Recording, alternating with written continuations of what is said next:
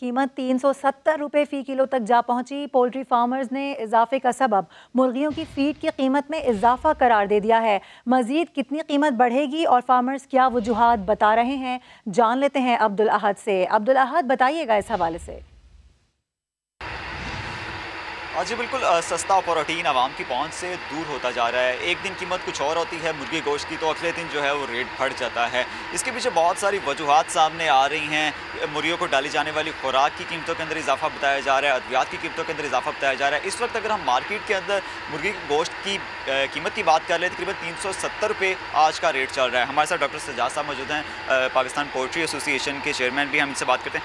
Poultry है, जो हालात चेंजिंग के साथ साथ रेट बढ़ते हैं। फ़ीड के रेट बढ़ गए, उसकी वजह जब फ़ीड वालों से बात होती है और हमें भी पता है, उसमें सोयाबीन हमारी जो है इंपोर्ट होती है सारी सोयाबीन मील, उस पर उसकी, उसका रेट बढ़ गया। साठ रुपये से वो इस वक्त एक सौ सताईस रुपये पे उसका रेट हो गया है और ये किसी के बस में नहीं है, बाहर से आती है। और दूसरी बात यह है, उसके मज़ीद गवर्नमेंट ने उस पर सत्रह परसेंट ड्यूटी लगा दी है।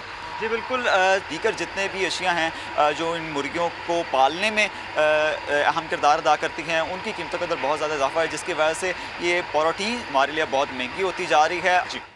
अब्दुल्ला